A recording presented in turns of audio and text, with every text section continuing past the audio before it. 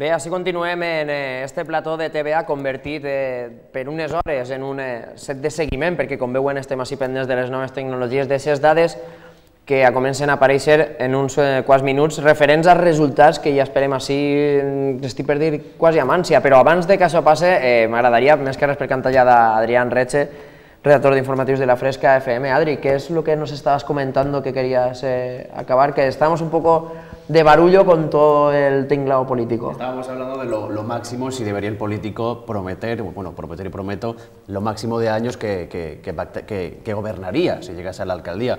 Por ejemplo, muchos partidos de la zona del Valle del Juguete pues sí que llevan en, sus propuestas lo máximo que gobernaría como alcalde o como alcaldesa. En este caso, por ejemplo, vi muchos partidos pues dicen máximo ocho años y a lo mejor también eh, cambiaría eh, el, voto de esa, de esa persona sabiendo que de aquí a cuatro años se compromete esa persona aunque hablando, viniendo de los políticos, el que se comprometa, pues cambiaría el voto o, no, simplemente eso. A lo mejor dice cuatro años de, gobierno, me, luego me retiro de la política, a lo mejor pues, mm, eso también al ciudadano pues, le, interesa o le opine bien o mal en cuanto al voto. La resta, creo que se acaba del político profesional como el conocen a día de hoy.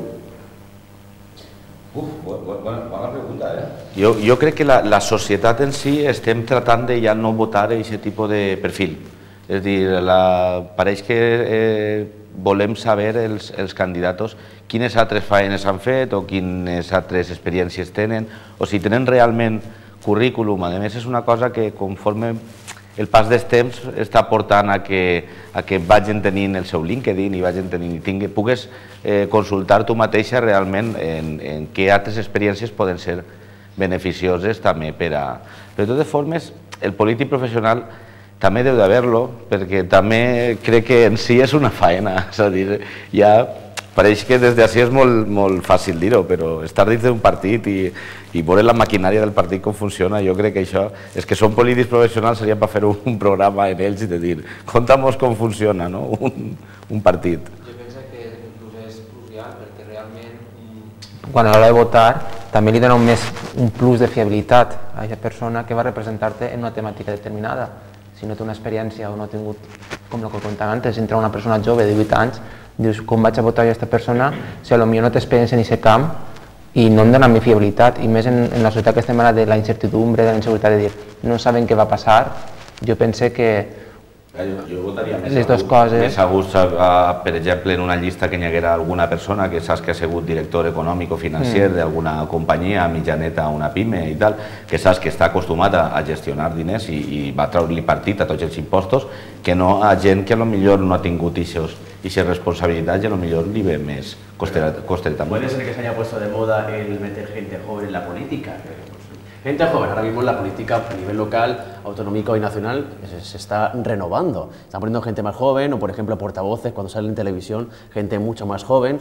Mm, ¿Hasta qué punto hay que mm, poner gente joven o que, a qué tipo que está, no está preparada, si está preparada? Porque estamos viendo en diferentes listas, por ejemplo, ahí en la Folla de Castalla, gente de 18 años como alcaldable. hay gente joven y y ser joven y no estar preparado no son dos cosas. No, no, claro.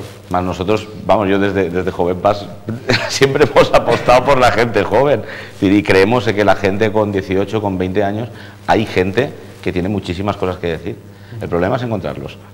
Mauro, una última aportació, si pareix, i donem pas a un vídeo del que ja fa uns minuts acaba d'ocórrer, que és el tancament de, col·legis electorals en el cas d'ací de la ciutat d'Alcoi. Xicoteta aportació? Sí, em sembla que sí que s'està intentant donar resposta no, a aquesta bueno, a la transparència, no? estan apostant els partits per la transparència, per una miqueta de regeneració, introduint eh, a gent jove, que jo crec que feia falta, no? perquè teníem els típics dinosaures en els partits, i, bueno, i així en Alcoi, per exemple, tenim el, doncs tenim a Guanyar el Coi, que ha introduït un codi ètic, a mi em sembla molt interessant i que després els partits han, han copiat, no? perquè veiem que és una bona idea introduir doncs, eh, un màxim de mandats, eh, introduir el tema de eh, sous màxims, no? són coses, jo crec que el que estaven comentant abans, mesures empàtiques que no costen massa d'introduir, però que pareixen en els propis partits impopulars, no? perquè ja sabem aquestes coses.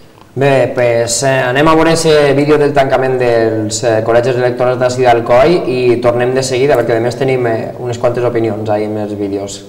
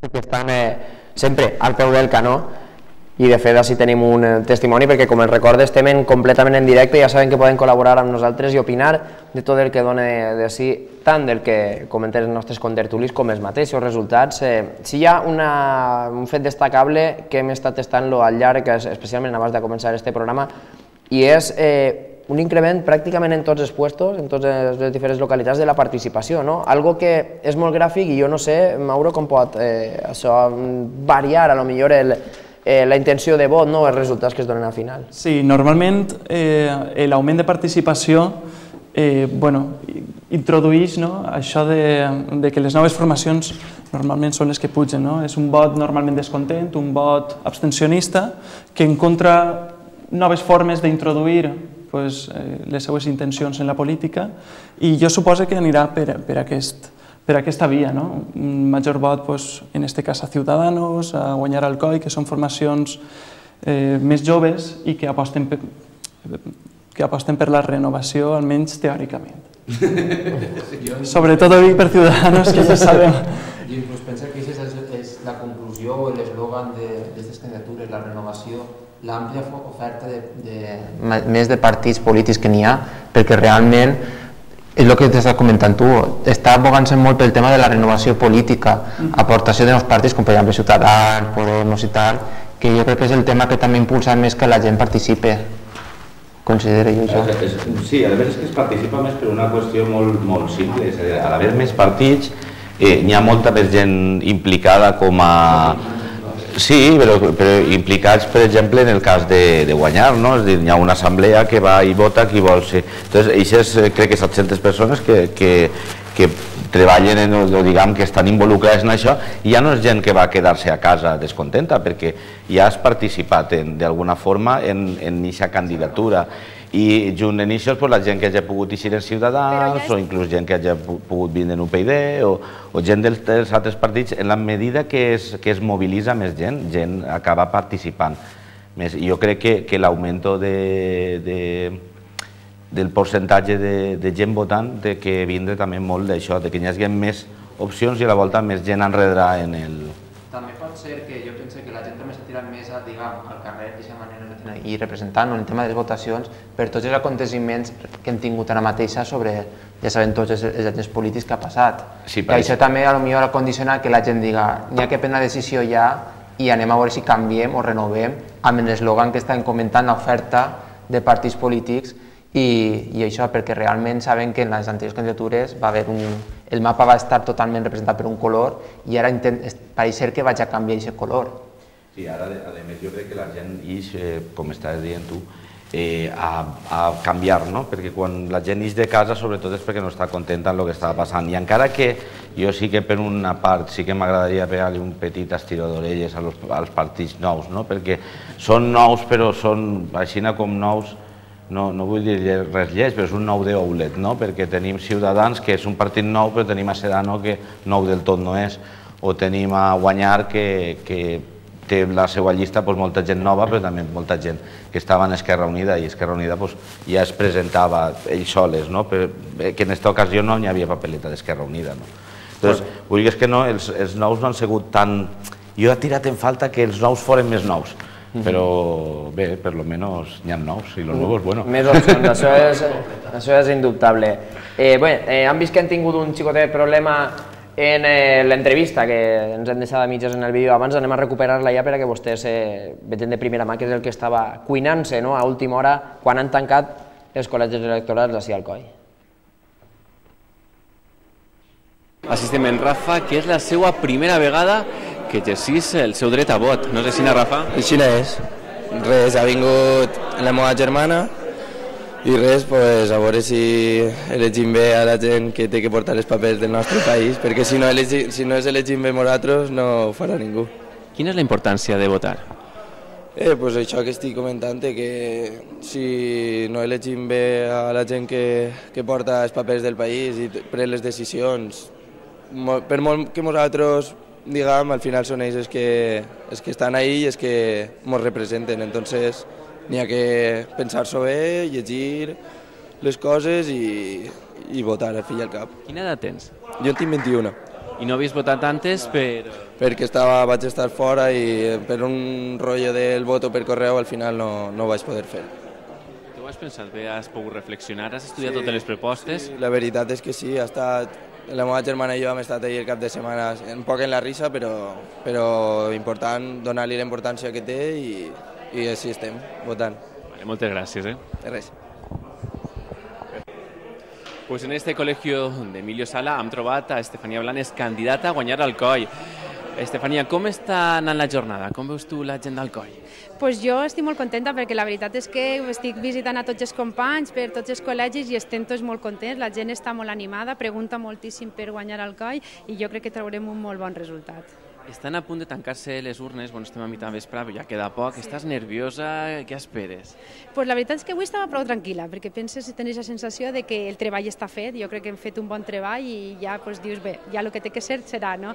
Però ja a aquestes hores comences un poc, que, més que nervis, és pues, això, la incertesa de no saber què passarà i les ganes de, que, de veure el fruit, no? un poc de, del treball que s'ha fet durant moltes setmanes i bueno, pues, pues poder-ho celebrar tots. Això no ha sigut una campanya llarga, vale? perquè ha sigut molts dies, de, bueno, 15 dies de campanya, precampanya, però això és molta feina, però no ha acabat tot així. A partir d'esta nit eh, comencem una altra, un altre treball, no? Sí, la veritat és que bueno, això és un treball previ, però jo és el que us ho dic i es dic als companys, no? això és la primera etapa, però la carrera és molt llarga i sí que ens queda moltíssim treball i ara és quan comença realment lo dur, perquè fins ara pues, depenien de nosaltres, era un treball nostre, se l'hem organitzat com hem volgut i com hem pogut i a partir d'ara pues, bueno, ve el treball més, més difícil.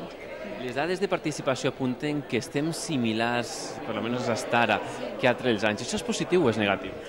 pues no ho sé, jo la veritat és que aquests anàlisis polítics crec que estem un poc per damunt i bueno, pot ser que siga... Jo, jo crec que la, la participació sempre és bona, per tant, només en que pugem un poc pues ja és bo. I sobretot pues, si són boig perquè la gent està cabrejada i vol canviar les coses, pues encara millor, clar que sí. Pues moltíssimes gràcies, Estefania, i que, i que tinguem sort. Pues sí, moltes gràcies. gràcies Estem pues estem en Paco Agulló, que va el número 3 de les llistes d'Esquerra Unida. Paco, com va anar el dia? Com, com estem veient les coses? Bueno, jo crec que es respira aquesta festa de la democràcia aquesta expectativa possible de canvi i jo crec que en, en tots els sentits ha hagut jo crec una expectativa, una mobilització uns perquè pensen que n'hi ha que aguantar encara el tiró per no perdre la capacitat de gestió i altres perquè es veu un canvi possible, real i després jo crec que és la festa de la democràcia. La lectura que fem és que com no n'hi haurà majories absolutes, això és la impressió que ens dona, eh, abans de traure el recompte, eh, la veritat és que és la festa de la democràcia perquè a partir d'ara la negociació està servida.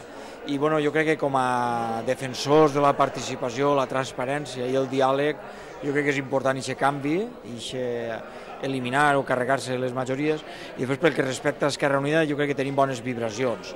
Bones vibracions perquè hem fet una campanya intensa, hem destapat el que volíem fer, hem explicat, hem tret els últims casos que afectaven directament a la corrupció i tenim bones vibracions. Eh? Ara estem passejant tots els col·legis electorals i la veritat és que respirem bones vibracions que bueno, veurem. No? Què vos diu la gent ara que esteu visitant els diferents col·legis electorals? Sí, bueno, la gent sí que denotes que n'hi ha una dispersió del vot o diversificació respecte a anteriors. Anteriors, per què? Perquè a nivell autonòmic està Podem, està Esquerra Unida, però a nivell local hi ha una fusió entre les dues, no? I jo crec que això genera unes expectatives. Però després, en el cas de, diguem-ne, de la dreta, passa el mateix. PP o Ciutadans, que també ha fet una gran mobilització d'apoderats i que jo crec que li arraparà possiblement una quantitat important de vots al Partit Popular. El número de participació a aquestes hores eh, està sent similar o potser un poquet més alt que, que la volta anterior. Això què sí. vol dir? Sí, fa una estona que m'han passat informació, estàvem 3-4 punts per damunt de la mitjana, però jo crec que encara queda una hora aproximada de votacions i bueno, pot haver canvis. No? Bueno, jo crec que al final estarem en uns paràmetres, si no semblants, algun punt per damunt. A migdia estàvem per davant, per damunt de la mitjana de l'estat espanyol, però bueno, jo crec que encara no es pot avaluar. Paco, moltíssimes gràcies i que tingueu molta sort. Pues moltes gràcies i gràcies per la vostra difusió. S'hem arribat a una taula on hi ha unes urnes i hem... li hem volgut preguntar a Georgina eh, que ella és primera vocal, no és així, Georgina? Sí, És la primera... teva primera vegada que, que estàs a una taula? No, ja és la segona volta que em toca. Això és sort, no? És una sort impressionant. Sí, també va ser en les anteriors eleccions o ja... No, fa cinc anys o sis anys que em va tocar també vindre i així estem. Conta'm un poc eh, l'anècdota, si heu tingut alguna anècdota este dia, algun incident, tot ha anat de normalitat, què és el que heu fet? Home, ha anat en prou normalitat. És una zona prou graciosa per pa estar en una taula perquè al tindre l'Emili Sala pues ja de repent un abuelet que el ve i que vol votar i vol votar, no sap ni com li diuen ni res, i això són les anècdotes. Per lo de més, ningú altercat, sí que veus pues, que estem en el centre i que o no viu molta joventut o no està sense així, però sí que veus que la majoria de la gent que ve pues, és major, per aquesta part. Esteu així des de les 8 del matí, no? Sí. I ahir vaig acabar super tard de fer faena perquè sóc cambrera, que mola moltíssim. Des de les 8 i fins a quina hora teniu previst o vos han dit que estareu així? Pues aquestes taules eh, normalment i sempre un 9, 10, a la majoria han acabat, o 8 i mitja pots acabar de recomptar, a les 8 es tanca. Després hi ha que recomptar-ho tot, que encaixa la primera i dur-lo al juzgat. Ahí és quan finalitza, però taules de zones on hi ha més gent, pues sí que poden acabar a les 11, a les 12 i si hi ha algun problema. Nosaltres esperem acabar allà a les 9. Vale? Si ja ànimos i que acabeu pronte, perquè això pot ser llarg, no? Moltes gràcies, sí. Bueno, estarà. Gràcies. Bé, mentre eh, seguim esperant que arriben aquests eh, primers resultats, ja, això sí és de veres, tenim una sèrie de bons contactes així en esta taula i si coneixem alguns dels resultats i apunten, pareix, eh, Mauro, segons les fonts que t'arriben, algo sorprenent, no? Sobretot eh, el PSOE com a, com a primera força política bastant clara. Parlem d'Alcoi, per aclarir. Correcte. Eh, així en Alcoi el PSOE bastant clar no? que serà primera força, de moment és el que mostren alguns recomptes de taules concretes, és a dir, no és res que es puga extrapolar a nivell general, però bueno, algunes taules sí que hi ha eh, això, la victòria del PSOE bastant contundent, no, no en majoria absoluta, però bueno, en comparació al que estem veient, doncs, relativament contundent. No? I sobretot eh, una baixada impressionant del PP. És a dir, en moltíssimes taules col·locant-se el PP com a quarta força política eh, per darrere de Guanyar, per darrere de Ciutadans i inclús per darrere de Compromís en, en algunes. Quina valoració hi ha? Reiterem, no són dades oficials, són eh, les primeres sensacions que hi han des d'algunes taules concretes, però que sí pareix algo certament gràfic, Víctor. Dona, dona la sensació un poc de que és, eh, bueno, quan comencen els, els recomptes, no? que, que quan va, veus així en la tele, no? Perquè, encara que estem en la tele, no? Després comença l'1%, el 2%, i, i hi ha desajustos molt grans. Però sí que pareix que hi ha una sensació de que al PP pues, li ha passat, li té que haver passat factura diferents coses. Una d'elles és la situació del partit, és a dir, que agarres el periòdic i quan no estan liant la iniciativa estan liant-la en València quan no estan liant-la no sé on. I doncs tot això està passant-li factura. A més, tampoc sé hasta quin punt, mm, han parlat antes de, de lo que són les campanyes, de com han gestionat les campanyes els candidats. Jo no sé si, si Rafa Miró, que em pareixia un tecnòcrata prou interessant per este moment eh, que, en el que vivim, igual no sé si ha arribat a connectar en tota la gent que, que tenia que haver connectat, ni siquiera si ha arribat al moment exacte, perquè igual també ha arribat ell massa tard. És a dir, ha, feia ja diversos anys quan anaves a qualsevol acte de presentació de llibre, de presentació de, eh, per exemple, el cas de Sedano no se n'ha perdut ni un, no? i a Rafa Miró pues, han començat a veure-lo en Alcoi farà un anyet. Entonces, jo crec que aquestes coses també possiblement li hagin passat factura en lo qual no ha acabat d'enamorar a lo millor al seu electorat que, que puga haver migrat cap a altres opcions, cap a, cap a Ciutadans, quizà. Abans de seguir aportant més idees per este costat, eh, comenten que tenim, perquè ve arrel un poquet al fil del que, de dades que ens acaba de traslladar Mauro, és una entrevista amb eh, Fernando Pastor, el que fins fa res ha sigut el portaveu del eh, Partit Popular i tal volta durant una temporada molta gent pensava que seria l'alcaldable del Partit Popular a, sí, a Alcoi. Anem a veure aquesta entrevista i quines són les sensacions que tenia Fernando Pastor. Fernando Pastor del Partit Popular també ha estat tot el dia sin el col·legi electoral d'Emilio Sala. Com ha anat la jornada, Fernando? Eh, molt tranquil·la, no ha hagut cap incident ni problema que destacar, a falta ja que estem d'una hora de tancar el col·legi i com el dic, doncs, molt tranquil. Este matí eh, més afluència de gent, sobretot eh, doncs, entre les 12 i les 2, no? Que la gent aprofita per així de casa, tal, esta vespre més tranquil·la, però vamos, res que destacable des del punt de vista de l'anècdota o de, del problema o de la incidència, no? molt, molt, molt tranquil tot. Què el comenta la gent quan ve a votar? El diu alguna cosa? Està... Bueno, hi ha molta gent que du les papeletes de casa, cada volta més, en la qual eh, són menys és que és que pregunten a voltes pues, on, en la taula on està la papeleta d'un o de l'altre, no? eh, on voten, perquè al haver tres taules en el col·legi, pues, sobretot la gent major va un poc perduda, de, de no sap exactament, i això és l'ajuda que el demanen, pràcticament res més, eh, perquè ja el dic que hi ha moltíssima gent, no sabria dir el tant per cent, però és simptomàtic que, que elecció tras elecció va augmentant el número de gent que es du les papeletes de casa, és dir, que això que la gent creu que fer el mailing electoral no serveix per res, sí que serveix per molt perquè és molta la gent, com dic, que ven les papeletes preparades. Fernando, també estàs en la llista del Partit Popular a les Corts Valencianes. Com vius tu el dia d'avui?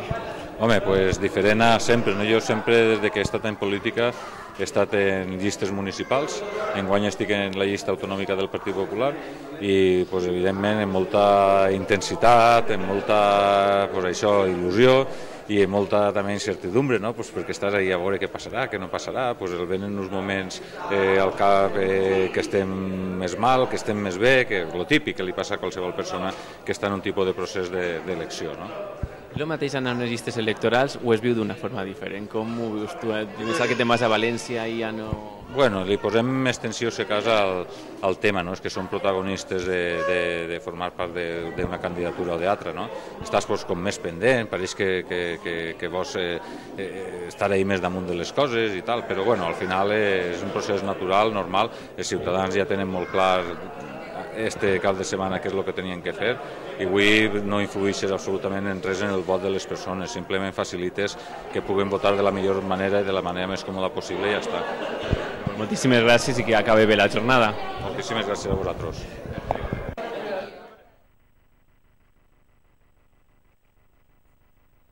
Declaracions i les sensacions de Fernando Pastor, d'un dels integrants del Partit Popular a Sinalcoi, i mm, Mauro ens comenta que venen eh, més dades. De moment eh, encara no tenim dades oficials eh, d'altres poblacions, així que encara no podem eh, dir-li eh, a tots vostès què és el que està ocorrent en aquestes poblacions. El que sí que podem dir-li és que en principi almenys hi ha més participació i això, sumat al ventall més ampli d'opcions polítiques de totes les localitats, doncs pot eh, deixar un panorama Adri, bastante más abierto. Pues la verdad que sí, además mm, también me, llama mucho la atención el porcentaje de participación. Yo pensaba, lo hablamos aquí antes, fuera de, cámara, que, iba a ser impresionante. Yo, se hablaba de hasta el 75-80% y se ha quedado más o menos al nivel de, hace cuatro años. No sé si os pasa a vosotros, pero a mí me ha llamado mucho la atención. Yo pensaba que iba a ser, eh, digamos, casi dos años de, como el que dice, de elecciones, porque en la televisión, en radio, a mí me ha llamado mucho la, atención, pero bueno, que sí, que se, se, ven muchos partidos nuevos, estamos todos pendientes de Mauro, que le está llegando la información y estamos todos expectantes, la verdad es que sí.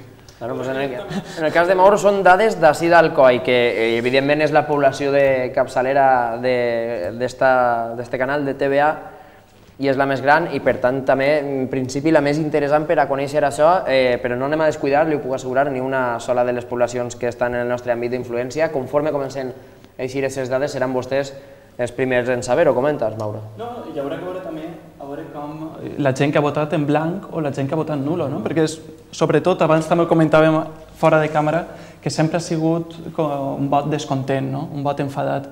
I hi haurà que veure si aquestes persones eh, majoritàriament han canalitzat el seu vot respecte a les eleccions passades. Un moment, passades. perquè tenim, tenim en principi, a comencen a aparèixer les primeres dades, m'apareixen així en pantalla, en eh, Alcoi.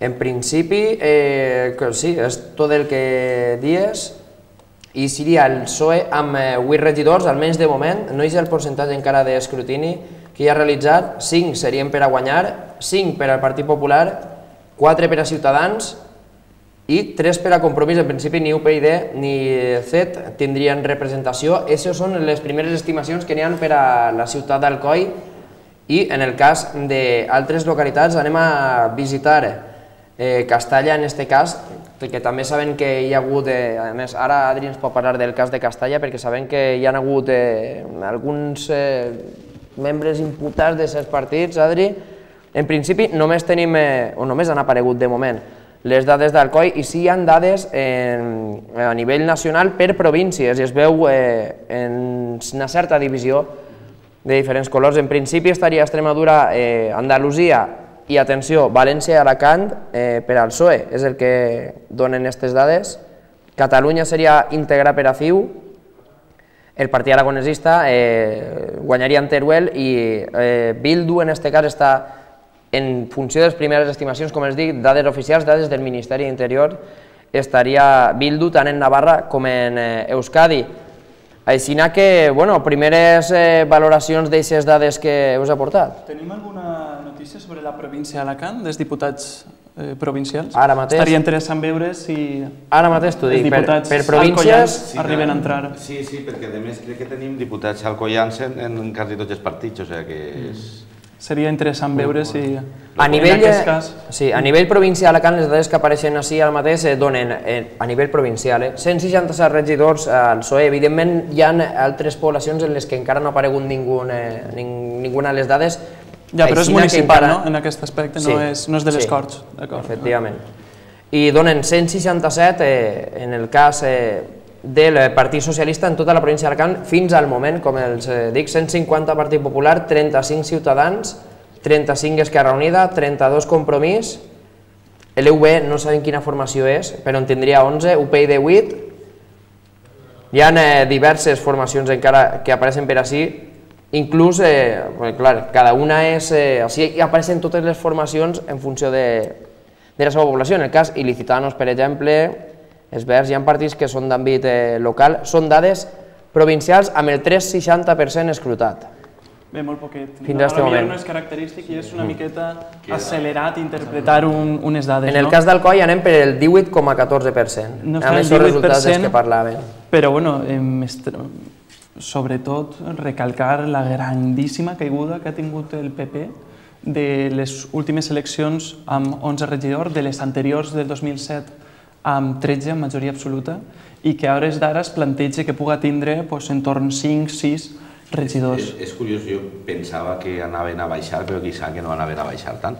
Però a lo millor, precisament, el tema de que hi ha altres forces, que, que la gent pot dipositar la seva confiança en, en altres puestos o, o inclús també el que estàvem comentant antes. Voto que d'alguna forma la gent no estava molt contenta en altres coses mm, externes que estan passant alrededor del partit i han preferit votar un, una altra opció. Jo penso que a més d'això són dues raons, a lo millor, les que també estan condicionant això.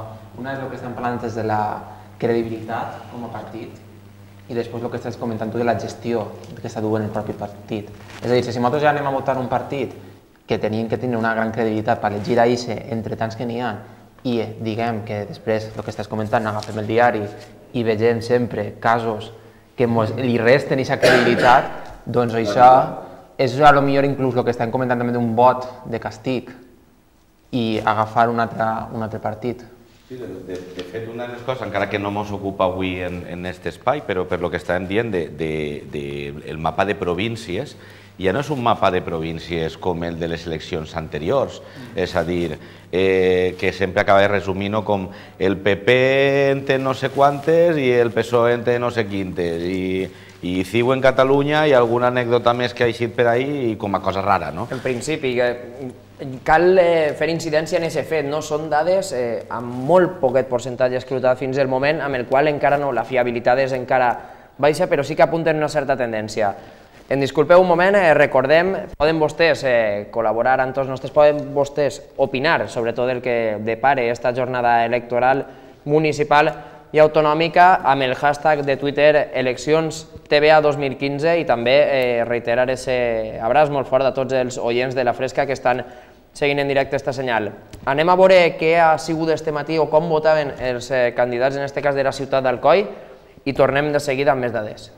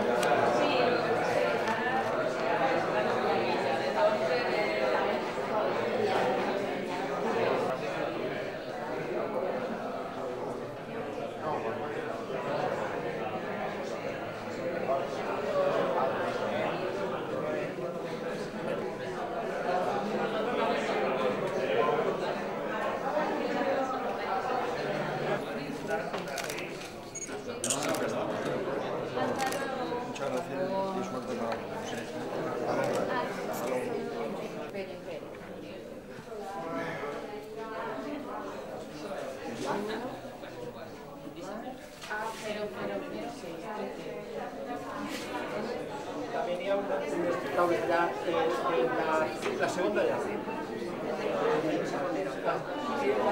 El DNI. Es este, es este, ya está, ya está, tranquila.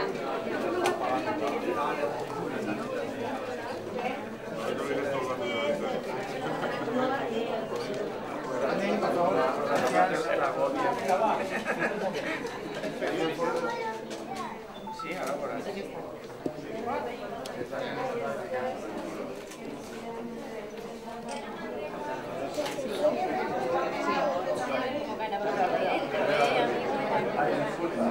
Gracias.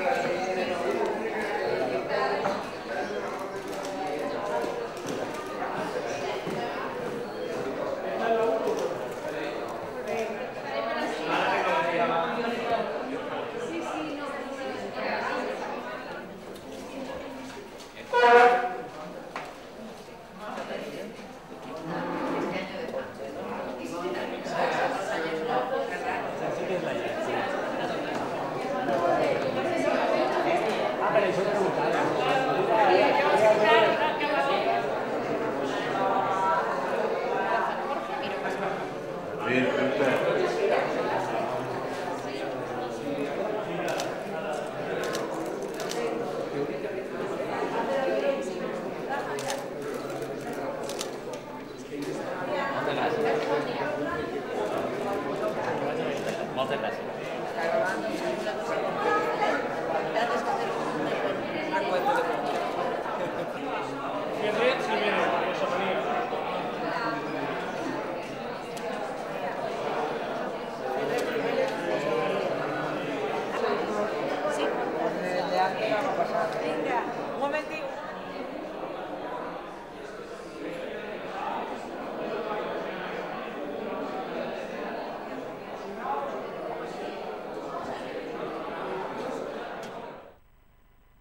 d'haver vist com eh, exercien el seu dret a, al vot eh, els candidats, els diferents candidats de la ciutat d'Alcoi, anem a eh, continuar aportant-los aquestes eh, dades, en este cas en la localitat eh, d'Ibi.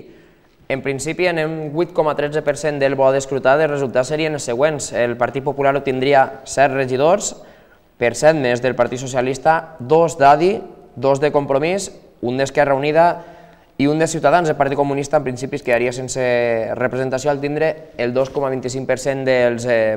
Adri, tu que has testado más de cerca la actualidad política y sobre todo durante esta última legislatura que ha sido bastante convulsa en IBI, ¿no? ¿Cómo lo analizas esto?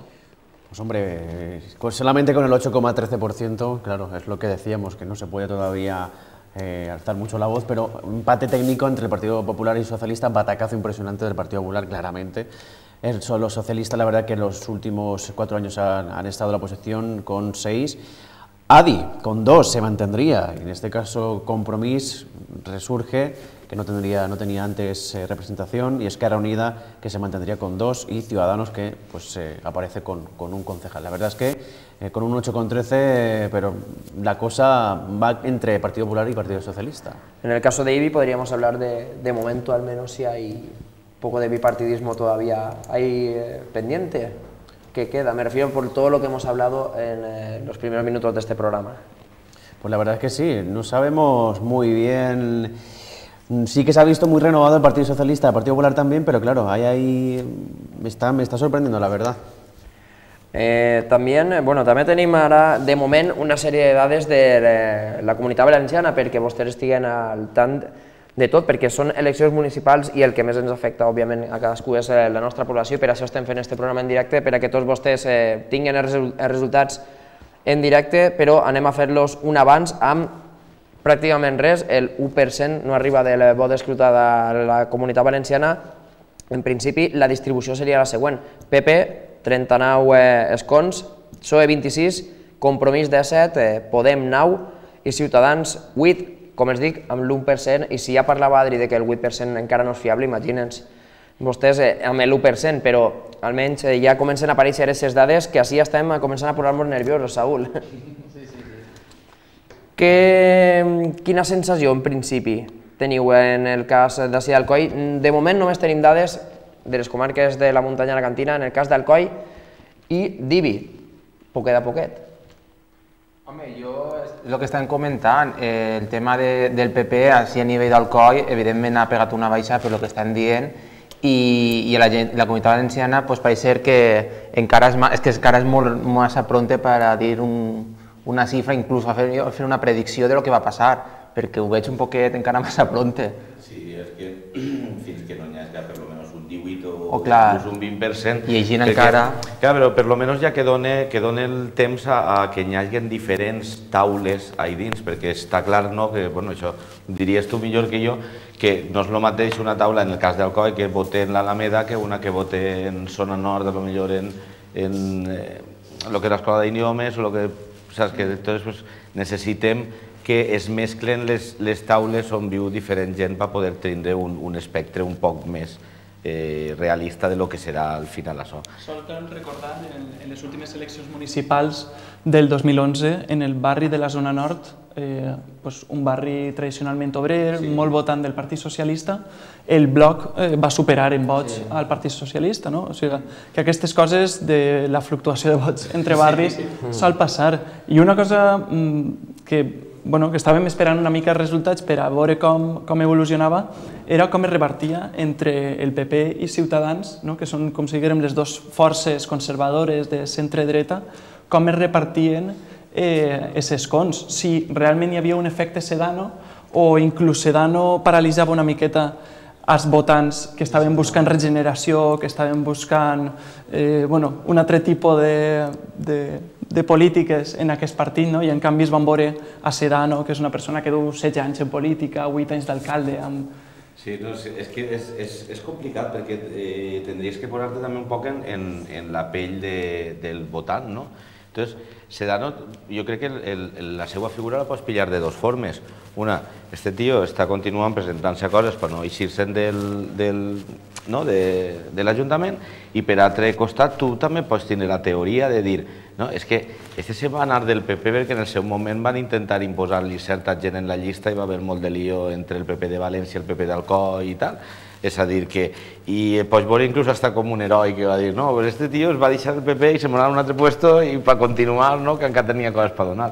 Esto ja és... Bé, de moment... Su ja són les conclusions sí. que diuen. Víctor Udesai, com sempre, vosaltres, eh, vostès són els que, els que pensen.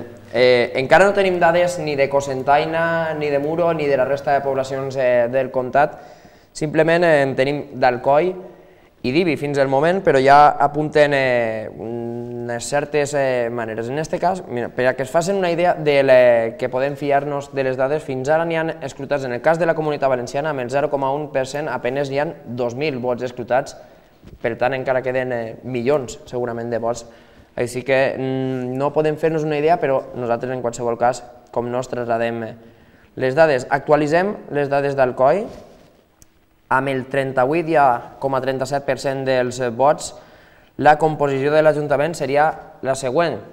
Partit Socialista, 9 regidors, eh, guanyem 5, Partit Popular 4, Ciutadans 4 i Compromís 3 amb UPyD i 7 eh, fora en principi de la composició d'aquest eh, Ajuntament que eh, comandaria la present legislatura, la futura legislatura a partir d'avui, 2015-2019 molta varietat o molta més varietat en principi del que tal volta estem acostumats eh, fins ara. Jo no sé si considereu que això pot ser algo que ja d'ací que abans es eh, produïsca amb més assiduïtat en els següents eh, comicis. Jo crec que aprofitant ara lo de les dades d'IBI, no, eh, eh, pareix que ara sona està raro.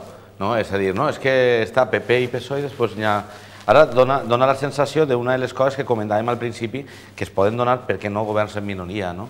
¿Y por qué no ahora en estos datos por qué no puede estar el, el PSOE a lo mejor puede desarrollar la política que a lo mejor ells diuen que no han pogut perquè estos anys tenien la crisi i perquè han tingut que arribar a tres pactes, doncs poden arribar a pactes en, en temes puntuals, no? en temes estratègics.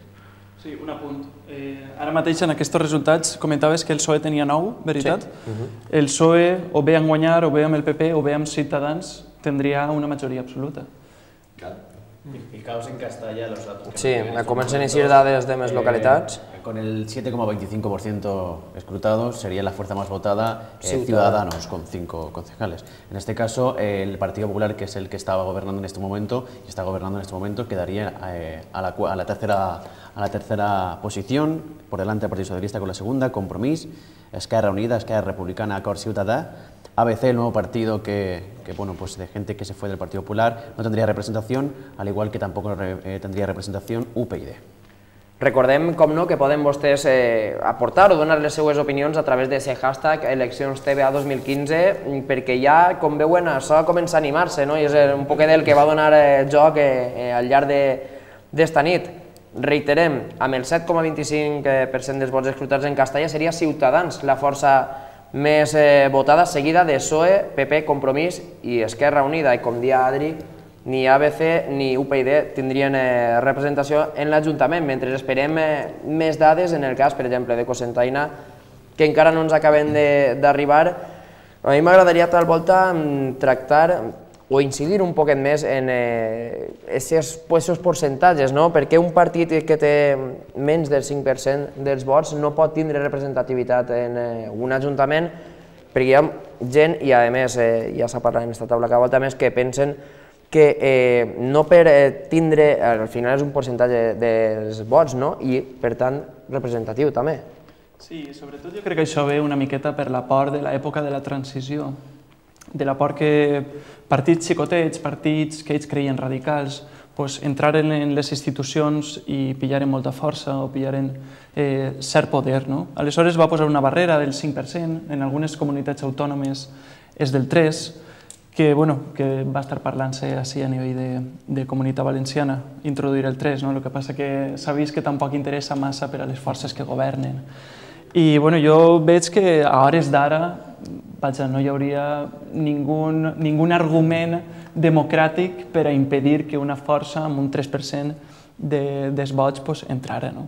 En estos, en estos moments, és que, eh, clar, hi ha, un, hi ha ahí també el tema de, de lo que es va fer en la transició, està clar que que en aquell moment es va tindre que fer així per una sèrie de coses, el qual agraïm a la gent que ho va fer, però això no significa que avui puga estar vigent. És, eh, han canviat els models de negoci, han canviat les formes de comunicar-se, nosaltres eh, mireu els mòbils, com, com ha canviat la taula, és dir, continuem tenint papers, però cada volta tenim més, més gadgets electrònics, i ara venen els rellotges, i ara... Entonces, eh, la societat està canviant molt i, sin embargo, aquest tipus de coses no estan canviant tant. Entonces, quizás haurien de fer-se-ho mirar. dir, no, no pot ser que 40 anys o que 35 anys estiga utilitzant-se els mateixos sistemes. És massa temps. Disculpa, Víctor, perquè tenim, eh, comencen a aparèixer dades de Muro d'Alcoi, en aquest cas amb el 6,60% de l'escrutini realitzat, apenes 500 vots. Eh, seria el Partit Popular la força més votada amb el 31,66% dels vots, 4 regidors, Compromís, el partit que actualment comanda l'Ajuntament, tindria 4 també i Esquerra Unida se'n faria en 4 deixant el PSOE amb eh, un. Una nova recomposició en el cas de Muro d'Alcoi, que recordem en 2011 tenia 6 regidors per a Compromís, 5 per a Partit Popular, un per a PSPB i un per a Esquerra Unida, que segons eh, les primeres dades multiplicaria per 4 la seva representativitat d'Esquerra Unida, que en el cas de Muro sí és Esquerra Unida, no guanyar com també s'ha fet en eh, Cosentaina. Com eh, ho valorem? Bueno, eh, ahí en, en, en el cas de Muro eh, tenien un alcalde des de feia molt temps, un alcalde relativament popular i, i jo penso que bastant estimat per el poble i, i per la comarca, inclús per la província d'Alacant, i xoca una miqueta, no? Aquests canvis sempre són eh, un poc agressius, no? els canvis de, de candidat, intentar que... El mateix ha passat a Cosentaina. Omplir el buit d'aquest candidat, no? En Cosentaina duia, em sembla que dos legislatures o duia ja tres? Sí, però bueno, eh, no, no, no, tres legislatures, però bueno, és que a més Rafa Briet, en el cas de Cosentaina, és un poc el, el cas de Climent, en Muro. És una persona que, que, que ha estat, no només ha estat d'alcalde, sinó que ha estat també de regidor, és una persona que ha estat molt de temps, molt involucrada en el poble, molt coneguda, molt volguda, crec jo també, eh, tant un, el cas de Muro com el cas de Cosentaina, i clar, és com si, no sé, per fer un símil raro, és com si haguérem estat jugant al parxís, li haguem pegat la volta i dius, ara anem a jugar a l'Oca. Entonces, realment les, les altres eleccions que han tingut igual no serveixen per analitzar els resultats d'este, perquè tots partixen des del tablero en zero, és dir, perquè les persones que sí, és el, és el PSOE ja, però no està la gent que estava. Clar, aquesta transició jo suposo que és difícil per a ciutadans, no? Això que es comenta sempre de que a les eleccions locals es vota molt a la persona, sí. no? Jo crec que este és un cas exemple de que quan et lleven a aquesta persona la gent pues, eh, anem, busca altres formes. Clar, no? anem, a, anem a ser malos, no? Anem a ser malos i anem a, fer, a intentar posar en la pell del votant un poc, no sé si més major, que em perdoni la gent, millor que cada dia, de dir, jo anava a votar a, en este cas a Briet o podem dir en Alcoia Sedano o tal, i entonces arriba el, el dia de les eleccions i no està la persona que... I dius, no, no sabem si vot on, on anirà a parar. Bé, eh, també ens arriben una sèrie de dades. En principi, Donil, no, ha, no són dades oficials, com ja ens ha corregut, en aquest cas un també té les seues fonts i el, el fet de ser Donil també influeix, òbviament. I en principi pareix que en eh, diverses de les taules que hi havia, Onil en aquest cas és un districte únic, això vol dir que totes les taules electorals estan distribuïdes en el mateix eh, lloc i en principi seria el Partit Socialista qui s'emportaria el gat a l'aigua amb el qual hi hauria canvi de govern. Dit això, i abans de saber dades més concretes i sobretot oficials, eh, anem a veure un poc de testar quina era l'opinió dels ciutadans d'Alcoi este matí, quan han acudit al seu col·legi electoral per a depositar el seu vot. Ejerciendo el voto como ciudadana. Sí, muy bien. ¿Qué piensa de los resultados? ¿Cómo cree que van a ir las cosas? ¿Cree que va a acabar el bipartidismo al que estamos acostumbrados? Yo creo que sí. Yo creo que tendrá que pactar y para mí es lo que quiero que pacten. Que no, haga, no tengamos solo un partido que sea el que mande en todo. O sea, diversidad, democracia al fin y al cabo. La democracia ante todo. Sobre todo eso. Pues per ara bé, a veurem. A la nit ja veurem conforme és. Muy bien, muy bien. Que no llueva, ¿eh? porque si no entorpece la cosa. Mucha asistencia he visto, muy bien. Si no creu que ha vingut més gent que l'any passat a votar? Sí, sí. Avui n'hi ha més gent que l'altra volta anterior, sí. Sí, la veritat és que les taules sí que estan més plenes. Sí, sí, hay más cola, hay más cola. Per això heu vingut pronte, perquè si no ja es fan més cues i entonces ja costa més votar. Té raó. Així no ja hem acabat i han complit. Què és el que canviaríeu de l'Alcoi d'ara per a la pròxima legislatura? Què canviarien del coll? Pues que n'hi hagueren puestos de faena, que no s'endugueren tot, totes les fàbriques i tot fora i que haguera faena per tots els alcoians. Per la teua banda, què és el que tu buscaries en l'Alcoi nou? Que la arreglen mejor. Porque estamos, la gente que no tiene trabajo está despechada, ¿sabes? Así que, que se arregle ahora, a ver con quién manda. Quina és la teva opinió? Què és el que canviaries tu de- d'aquest Alcoi? Pues yo pediría que salieran, los que salieran lo hicieran mucho mejor, aunque los que, que los que hay que no es que lo hayan hecho mal, pero que mejoraran, que mejoraran. Per això, volem, per això venim a votar, per veure si així esta, es canvia. Perquè, vamos, i és que s'han endut els diners que es tornen. És que l'obligació és de vindre a votar. Perquè si tots farem el mateix de no vindre a votar, per què volíem? Per què volíem? Per lo menos per veure. Aquí del COI, pues el alcalde, porque están las aceras y están todo, que queda asco de verlas. Eso tenía que ser, eso tenía que ser, tener los pequeños más y los grandes abajo. Sí, creo que sí, veremos a ver. Y si no, pues mala suerte. Tantos años hemos vivido ya con estos que, que, que, que- que haga un cambito. Bueno. Mande quien mande a robar. Pues bueno, lo que más espero cambiar es la ayuda al empresario sin tanta traba y por supuesto depositar la, la confianza en los políticos otra vez.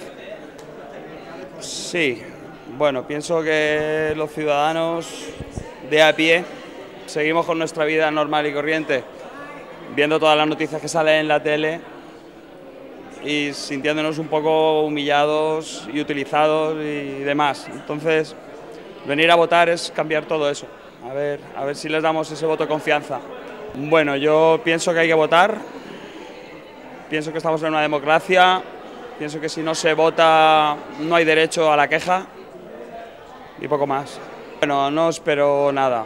No, no puedo esperar ni por uno ni por otro. Simplemente que los que salgan, que lo intenten hacer lo mejor posible y ya está. No, se- sempre n'hi haurà bipartidisme. Estem tornant molts més bojos ara mateix així buscant tots eh, dades per les diferents, eh, per poblacions, per eh, comunitat valenciana.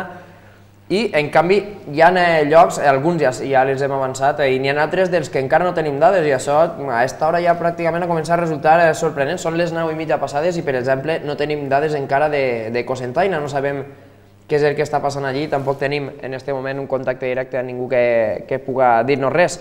Parlàvem ara fora de càmera de què és fins ara el que tal volta ens està sorprenent més d'estos resultats eh, que estan donant-se.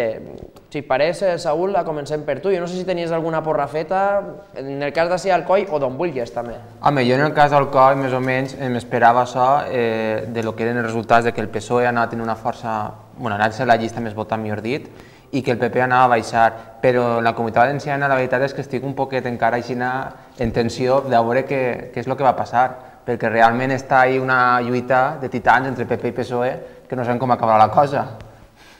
Sí, està en principi, a Simis, eh, segons eh, resultats autonòmics, el que no sé del, si estem parlant concretament, jo crec que estem parlant de vots globals al 25,03% escrutats, però en el cas de les eleccions municipals, o sigui, vots municipals. En el cas de les autonòmiques, com eh, comentàveu, a més, ara em pareix que s'ha mm, equiparat un poquet del tema, segons em dona a mi, però, com els dic, amb el 0,56% escrutat, 30-29 PP-PSOE. 19 Compromís, 12 Podem i 9 Ciutadans. És el que de moment apareix així i són eh, és de fonts fiables. De fet, és el diari El País qui ens trasllada aquestes dades. El compromís ha crescut molt en la comunitat valenciana perquè realment l'anterior candidatura va, va guanyar vots però no va guanyar tants com ara, ha tingut un creixement prou ascendent respecte a, per exemple, el PP, que està...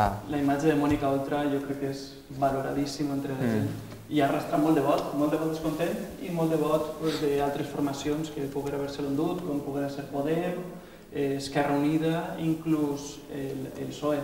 Així no Alcoi s'ha vist que la campanya ha estat un poc eh, intentant fer la dualitat esta de David Abad, Mònica Oltra, no? Sí, exacte. Ha molt el tiro de Mònica Oltra. Mònica té, té molt de tiró, jo crec que és un personatge que ha sigut també prou mediàtic perquè ha sabut comunicar molt bé. Em pareix que és una de les persones que, que, que més transmitix i més arriba, perquè quan totes les estratègies que ha utilitzat en les camisetes en, i, i això fa que no, eh, ha anat guanyant minuts en, en televisió i possiblement el, el vot descontent ha anat també un poc jo per ahir. Jo també penso que la, la política que ha dut aquest partit ha sigut de fer eh, denúncies públiques de casos de corrupció, podríem dir, o de casos de, coet, de cohecho, i realment molts dels que han denunciat aquest partit s'han verificat amb el temps. Per tant, és el que estem comentant sempre de a qui votem, a aquell partit que realment diu la veritat, perquè ara ja és una cosa de dir la veritat al mateix nivell que la incertidumbre. Per tant, jo considero que en aquest cas el, el partit de compromís des del punt de vista dels Corts ha fet una feina bastant... Jo lo que, lo que no sé, jo tinc els meus dubtes, després, eh, mm. a voltes ho comente, si les, eh, les, les formacions o les estratègies que el porten a, a fer una gran o una molt bona, que és, eh, jo crec que han fet una molt bona oposició, van a portar-te a fer un bon govern. Exacte. O a lo millor n'hi ha persones d'ataque i de defensa, és a dir, a lo millor Mònica Oltra és una persona que, està, que fa molt bé esta llavor, però de repente en el moment que tinguera les responsabilitats de govern a lo millor no sabria què exactament què fer. Jo hi penso que està la qüestió aquesta de dir, bé, d'oposició és una posició còmoda en la que tu sols has de fer crítiques Clar. i respecte després quan ja estàs al poder que canvia la cosa, ja no pots fer tanta crítica i tens que tenir més accions. En aquest cas... Sí, realment ahir tens que, tens que ser capaç eh, d'aconseguir fer un equipo al teu alrededor que siga capaç de gestionar aquestes coses i clar, per altra part, quan una persona es converteix en tan, eh, diguem, tan mediàtica, li és més difícil donar-li visibilitat al seu equip. Però... Contigo, Víctor, la Mónica Oltra eh, es una persona muy cualificada en cuanto a la comunicación, saber expresarse. Además, creo que eh, Compromís es el único partido que tiene como dos fotografías muy diferentes para, las, para la campaña, tiene dos como con dos expresiones muy diferentes.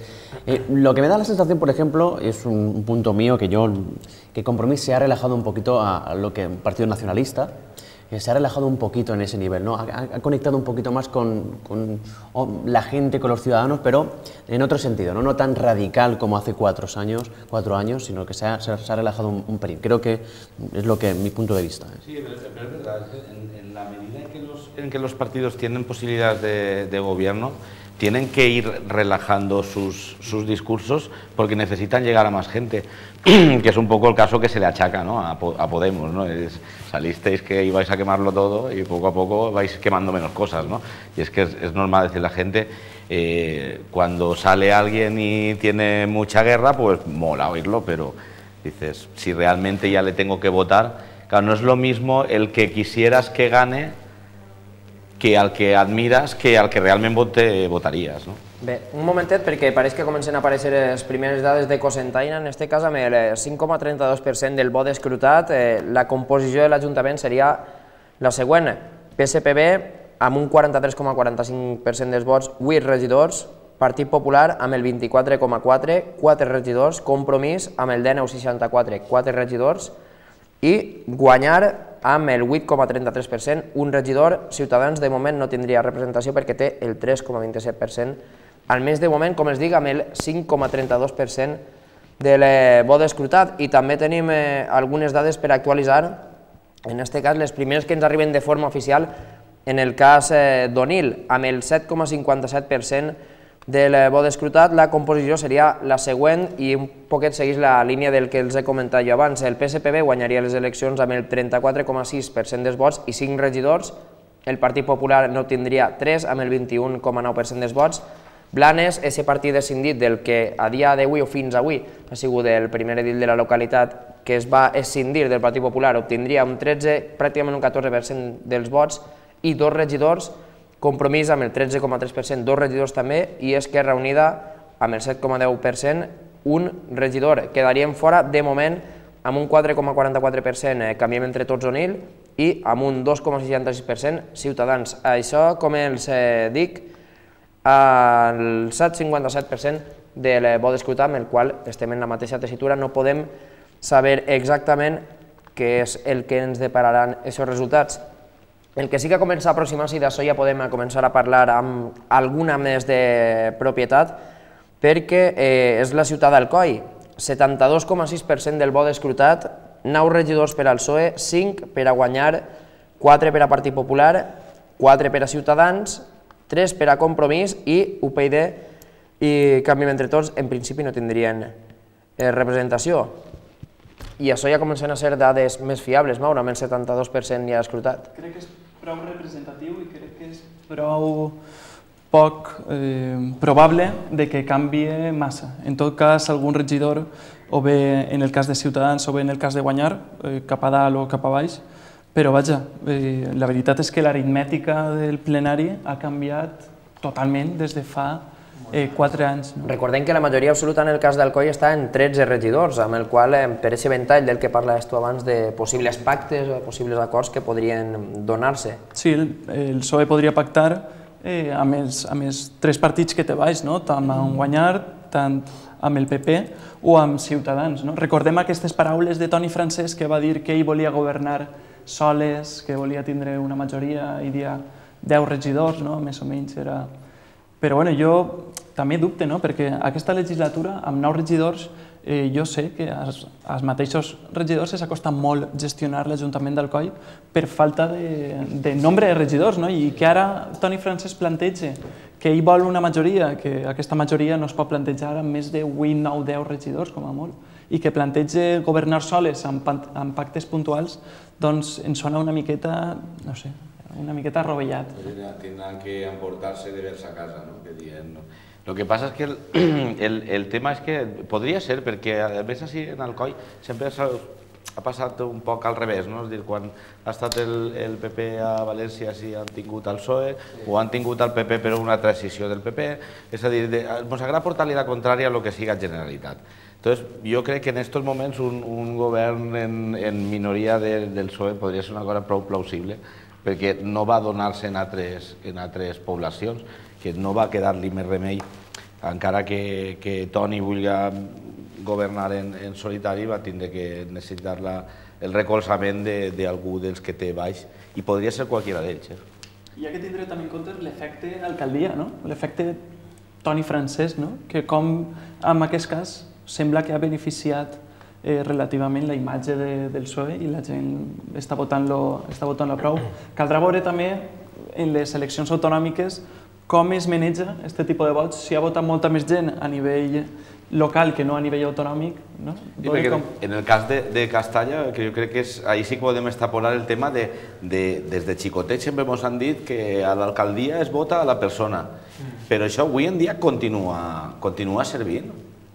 Perquè veus que estan eixint altres, altres no sé, en el cas de Cosentaina continua guanyant el, el PSOE encara, encara no? Almenys de moment, sí. Per això, que, que veus que per altres costats... I en Castalla sigles... i tal volta siga eh, de lo més cridaner que podem anunciar fins ara, quan són eh, les 10 menys quart, eh, pràcticament de la nit, és que la victòria electoral en Castalla, òbviament sense majoria, seria per a Ciutadans seria sorpresa, sorpresa força. sí, sí, primera força. La victòria electoral amb més d'una quarta part de l'escrutini quan es porta més d'una tercera part, més del 33% del vot escrutat en castellà.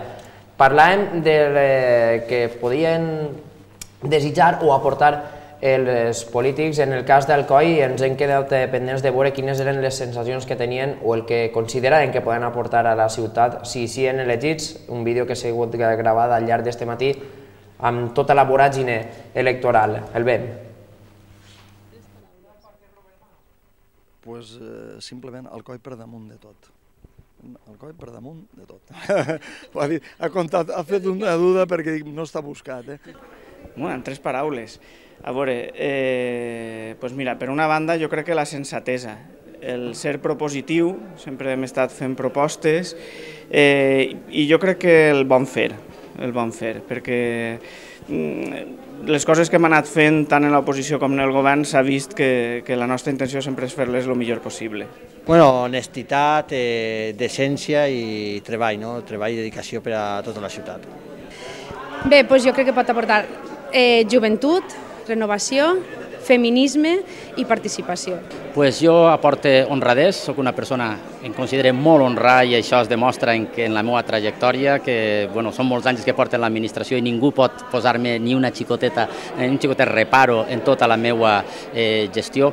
Capacitat, perquè em considere una persona capacitada per a poder eh, abordar i afrontar aquesta situació, que, que és molt complicada en la ciutat d'Alcoi, i compromís, compromís en la ciutat perquè pensem que devem d'estar molt prop de la gent i devem d'assumir de, eh, aquest repte i que, i que hi hagi aquesta cercania que fa falta per a que tots junts puguem treure això endavant. Bueno, eh, David Sabido no, simplemente UPyD Eh, UPyD se ha distinguido por ser crítico con, el tema de la corrupción. Eh, nosotros pensamos que somos el único partido que estamos denunciando lo que creemos que han podido ser casos de corrupción y vamos a seguir haciéndolo. Y vamos a, y también en nuestros pilares fundamentales son también el ciudadano. Queremos que no se vaya de Alcoy nadie más por falta de posibilidades o porque en Alcoy es muy caro vivir y queremos que los alcoyanos que se nos han ido que vuelvan y que vuelvan a casa. Es decir, queremos que Alcoy vuelva a ser ese Alcoy industrial que recibe ciudadanos y gente joven también y sobre todo un Alcoy libre de corrupción. Això que acabem de veure en aquest vídeo que ens han facilitat els nostres eh, companys d'ací de TVA és el que esperaven donar o els desitjos que tenien en aquesta jornada electoral del 24 de mes de 2015 els candidats a l'alcaldia per Alcoi, una ciutat eh, que de moment, eh, segons eh, es revela de les eh, dades al 76% escrutat, estaria comandada en principi Lògicament, després hi hauria que arribar a una sèrie d'acords eh, que ja... Eh, és una altra, una altra etapa no?, d'aquest procés electoral, que són les post-eleccions, a veure com acaben eh, desembocant en pactes que faciliten la governabilitat. En aquest cas, en Alcoi, com es dic, amb el 77% pràcticament escrutat, dades de fa 5 o 6 minuts, eh, el PSOE obtindria 9 regidors amb un 30,3% dels vots, guanyar 5 regidors amb el 18,3%, Partit Popular 4 regidors amb el 16% i també pràcticament xapant listaron Ciutadans 4 regidors, se'n quedarien 3 eh, compromís amb el 12,36 dels vots ni UPyD ni Canvi Entre Tots tindrien, almenys de moment, representativitat en aquestes dades que, com els dic, ja estan propet de vores tancades, per la qual ja podem fer-nos eh, una idea. Refresquem també les dades en el cas de Castalla, que, com els hem dit, està al volta el cas més eh, cridaner. 34% del vot escrutat, 5 regidors per a Ciutadans amb el 25,74% dels vots, 4 regidors per a Partit Popular amb el 21,9%, 4 regidors també per al Partit Socialista amb el 19,63, 3 per a Compromís amb el 18% dels vots i un per a Esquerra Unida amb el 8,3% dels vots. Le fem una repassada ràpida perquè ara ens anirem un momentet de publicitat i segur que hi ha alguna variació o alguna que puguem veure més clar quan tornem. En el cas de Cosentaina també seria la victòria per al Partit Socialista amb 8 regidors i el 10% del vot escrutat, que en el cas d'Ibi ja va pel 35% pràcticament, i que otorga més o menys un empat tècnic, 8 regidors per a Partit Popular, 7 eh, per a PSOE, la tercera força política seria ADI en este cas, eh, seguida de compromís, tant d'ADI com compromís amb dos regidors, un en tindrien Esquerra Unida eh, i Ciutadans sense representativitat el eh, Partit Comunista. Els parlem de moment de les eh, principals localitats, després farem una batuda per les eh, poblacions més xicotetes, les que em falten, saben que són moltes poblacions en aquesta àrea d'influència de TVA. En el cas de Muro, de moment guanyaria amb el 6,6% del vot escrutat, eh, guanyaria el Partit Popular en 4, però hi ha un triple empat entre Partit Popular, Compromís i Esquerra Unida, a 4 regidors se'n quedaria amb un el Partit eh, Socialista. I per últim, en el cas d'Onil, amb el 14,6% del vot escrutat, guanyaria les eleccions el PSOE amb 5 regidors, seguit del Partit Popular amb 3, Blanes amb 2, Compromís també amb 2 i Esquerra Unida amb un únic regidor. Està, canviem entre tots prop d'aconseguir representativitat amb un 4,86% dels vots. Ciutadans es quedaria sense arribar al 3% i per tant sense representativitat. Ens n'anem, com ens comentàvem, a una xicoteta pausa, fem un descanset perquè com ens recordem també estem en directe i poden vostès col·laborar amb aquest hashtag eleccions TVA 2015.